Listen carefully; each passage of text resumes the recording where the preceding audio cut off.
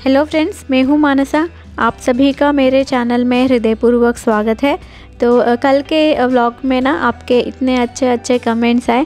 सच में मैं बहुत ज़्यादा खुश हूँ क्योंकि आपके वजह से ही मैं व्लॉग को कंटिन्यू कर पा रही हूँ।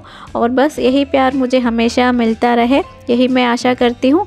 और यहाँ पे देखो, सुबह का टाइम हो रहा है और बाहर का जो भी काम होता है ना तो वो मैं करने लगी हूँ।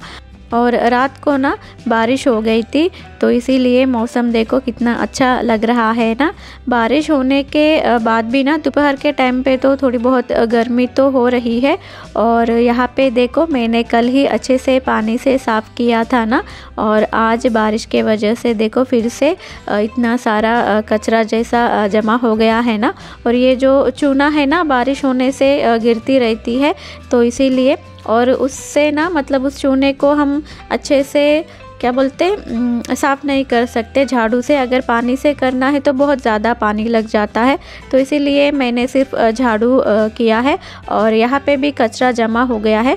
तो ऊपर से ना पत्ते वगैरह होते हैं ना तो बारिश के वजह से वो पूरा कचरा गिरने लगता है। और वॉशिंग मशीन में ना, मैंने कल कपड़े डाले थे लेकिन पता नहीं मशीन को क्या हुआ है, ये ऑन ही नहीं हो पाया है।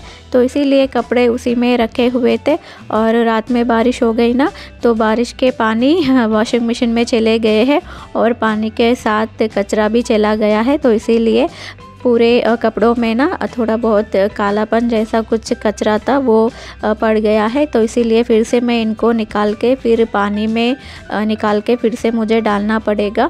और पता नहीं वॉशिंग मशीन का क्या हो गया है तो इसीलिए मैं इनको कह रही थी देखने के लिए। मैंने कल बहुत ज़्यादा ट्राई किया है, लेकिन फिर भी मुझसे हो नहीं पाया है और उस टाइम पे हस्बैंड भी घर पे नहीं थे और वो आते रात हो गया था, इसीलिए फिर वैसे ही रख दिया है कपड़ों को और आज मुझे डालना है और पता नहीं बारिश होने के चांसेस भी थे, लेकिन फिर भी गीले कपड़े हैं ना, इन्हें डालना भी ज़रूरी है तो ये दिख रहा है ना, इस तरह से कचरा पूरा इसमें गिर गया था। और मशीन का ना हमने बहुत दिनों से यूज़ नहीं किया है, शायद इसीलिए वो ऑन नहीं हो पा रहा था। लेकिन जैसे तैसे हस्बैंड ने इसका रिपेयर कर दिया है। मतलब ज़्यादा कुछ नहीं था, पता नहीं उन्होंने क्या किया, वो ऑन हो गया है। और सच बताऊँ तो मैं डर ही गई। अगर ये पूरी तरह से काम ही नहीं कर पाता तो क्या होता? लेकिन अभी फ़िलहाल के लिए तो ये चल रहा है। ये एक अच्छी बात है। और देखो किराए के घर में रहने से ना थोड़ी बहुत मुसीबतें आती रहती है। और यहाँ पे देखो, बारिश होने से ना मेरी मुसीबतें और भी ज़्यादा बढ़ जाती है। अगर बारिश ज़्यादा होने लगती है ना तो पूरे कमरों में पानी टपकता रहता है और ऊपर से आँगन का काम तो वो तो बहुत ही ज़्यादा होता है। तो देखो, कल ही मैंने अच्छे से पानी से साफ़ किया था, लेकिन फिर से देखो, ये सब काम मुझे करना पड़ रहा है। और कभी कभी ना ऐसा लगता है कि इस घर को छोड़ के मैं अपने ससुराल के घर ही चले जाऊँ। वहाँ तो हमारा खुद का घर है, कैसे भी रहो, अपना घर अपना होता है। और यहाँ पे ना हम कुछ कर नहीं सकते मतलब कुछ भी करना चाहा तो फिर ओनर का परमिशन लेना पड़ता है उनसे बार बार पूछना पड़ता है। तो इसीलिए ना छोटा सा भी घर हो तो अपना घर अपना होता है। लेकिन हम लाख कोशिश कर ले किराए का घर अपना घर नहीं बन सकता। और आपको तो पता ही होगा यहाँ पे आने के बाद हमने कितनी मेहनत की है इस घर को सुंदर बनाने के लिए। लेकिन फिर भी ना देखो इस तरह से कभी अ, काम कर कर के ना मैं तो थक जा रही हूँ। और बातों बातों में देखो, हम आज ना हमारे चाचा जी के घर जा रहे हैं तो वो बताना तो मैं भूल ही गई हूँ।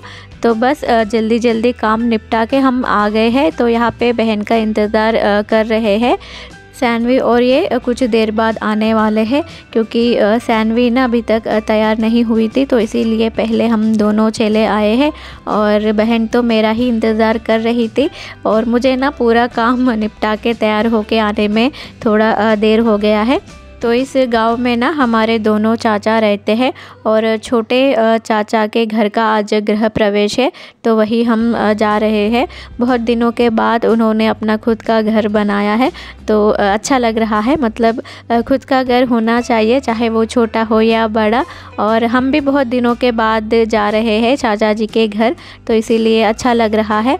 और मतलब अभी ना सारे लोगों को तो नहीं बुलाया है, बहुत कम लोगों को ही बुलाया है। और यहाँ पे पे देखो कैशोरी कैसे मुँह बना रही है। तो वही मैं बता रही थी।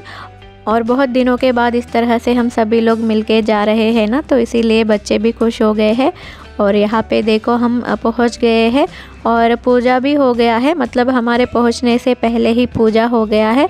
तो बस हम जो अपना शगुन लाए थे ना, वो हम दे देते हैं। और देखो पंडित जी भी अभी जाने लगे हैं। तो हमारा यहाँ ना ज़्यादातर गृह प्रवेश के दिन सत्यनारायण जी का पूजा तो करते ही है। मतलब ज़्यादातर लोग करते हैं, लेकिन किसी किसी के घर में ये पूजा नहीं होता है। और यहाँ पे देखो चाचा जी के घर में भी पूजा हुआ है और कितने अच्छे से सजाया है ना तो इसे देखते ही एक अलग फीलिंग आ जाती है। मतलब मुझे तो अच्छा लगता है। और बस यहाँ पे पूजा और जो भी कार्यक्रम होते हैं, वो तो कंप्लीट हो चुके हैं। हमारे आने से पहले ही हो चुके हैं। और यहाँ पे देखो, चाची सभी को प्रसाद दे रही है। अगर पंडित जी होते तो वही सभी को टीका लगा के फिर प्रसाद देते हैं। लेकिन हम लेट हो गए ना तो इसीलिए पंडित जी चले गए हैं। और ये येलो साड़ी में है ना, ये छोटी वाली चाची, इनका ही गृह प्रवेश है। और पिंक कलर की साड़ी में जो है वो बड़ी वाली चाची। और इनका घर भी बस नज़दीक ही है। मतलब यूँ कहूँ तो बगल में ही है। और अभी सभी को पहले तो टीका चंदन लगाने के बाद फिर प्रसाद देती है। हमारे यहाँ तो हर पूजा में टीका लगाना ज़रूरी होता है और लड़कियों को टीका और गालों में चंदन लगाना।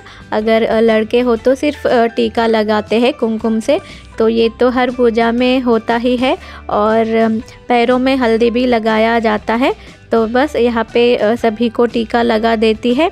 तो जो भी आते हैं ना घर में, सभी को टीका लगाया जाता है। अगर पापा का तबीयत ठीक होता तो माँ और पापा भी चले आते, लेकिन अभी फ़िलहाल उनकी तबीयत ठीक नहीं है। मतलब पहले से तो अच्छा है, लेकिन फिर भी बाहर चलना, फिरना नहीं हो पा रहा है तो इसीलिए वो लोग नहीं आए हैं। और इस पूजा में जो प्रसाद बनता है ना, वो इतना स्वादिष्ट रहता है कि मैं बता नहीं सकती। चाहे किसी के भी घर में सत्यनारायण जी का पूजा हो और जब प्रसाद बनता है तो उसका स्वाद तो एक ही होता है अच्छा लगता है। और ये हमारी बड़ी माँ, आप जानते ही होंगे, शायद मैंने एक वीडियो में इनको दिखाया था। तो सबसे बड़ी माँ है और ये हमारी नानी है, येलो साड़ी में जो जा रही है ना। और यहाँ पे ना सभी लोग सैनवी के लिए पूछ रहे थे। उसने तो कहा, सिर्फ़ पाँच मिनट में मैं आऊँगी करके, लेकिन पाँच मिनट नहीं, आधा घंटा लग गया है। आपको तो पता ही है, लड़कियाँ तैयार होने में थोड़ा टाइम लग जाता है। लेकिन अभी तक सैनवी नहीं आई थी। मैं तो बार बार उसे फ़ोन लगा रही थी। बस यही कह रही थी कि पाँच मिनट में आऊँगी, पाँच मिनट में आऊँगी। लेकिन पाँच मिनट तो नहीं आधा घंटा लग गया है। और यहाँ आने के बाद ना गुस्सा होने लगी, क्योंकि वो कह रही थी कि ऑटो के पास ही हम रुक जाए। वो आने के बाद सभी मिलके हम ऑटो से ही यहाँ पे आ जाते, लेकिन हम नहीं रुके। बहुत ज़्यादा लेट हो रहा था ना तो इसीलिए हम यहाँ पे आ गए हैं। फिर सैनवी और ये दोनों मिलके आ गए हैं। अगर बारिश नहीं होती तो हम सभी लोग मिलके सुबह ही आ जाते। गृह प्रवेश तो सुबह चार या पाँच बजे हुआ था।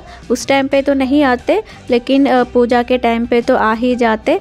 अगर दिन भर बारिश होती रहती तो और भी ज़्यादा मुश्किल होता। और यहाँ पे देखो, ये छोटी सी लड़की कितनी क्यूट है ना? तो बस सभी के पास आ रही थी। मुझे ना इसे देख के बहुत ज़्यादा अच्छा लगा, खासकर उसका ड्रेस मुझे अच्छा लगा। तो मैं उसे पास आने के लिए कह रही थी। और मेरे हाथों में फ़ोन है ना? तो इसीलिए ये मेरे पास आ रही थी।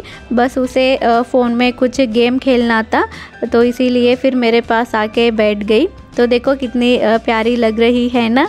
और देखो सभी लोग थोड़ी देर यहाँ पे बैठते हैं, फिर बाद में खाना खा के कुछ देर बाद फिर हम घर लौटते हैं। तो बस आज का व्लॉग यहीं पे मैं एंड करती हूँ। मैं आशा करती हूँ कि ये व्लॉग सभी को अच्छा लगा। अच्छा लगा तो ज़रूर लाइक कीजिएगा शेयर कीजिएगा कमेंट कीजिएगा और मेरे चैनल में कोई नए हो और अभी तक सब्सक्राइब नहीं किया है तो जल्दी से सब्सक्राइब भी कीजिएगा।